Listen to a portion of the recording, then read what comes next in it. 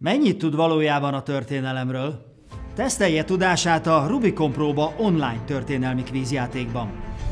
Érdekelné, hogy mit tud a középkori magyar királyságról?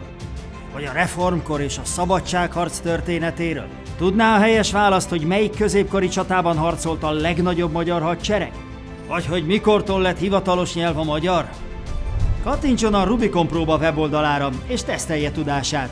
rubiconkötőjelpróba.com